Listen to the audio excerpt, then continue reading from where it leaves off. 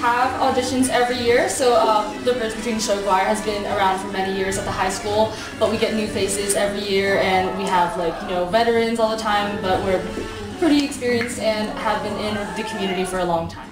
We also mentioned um, our choreographer, Tonally Tracy, as well as our teacher, Mr. Gotsky, or Richard Gotsky.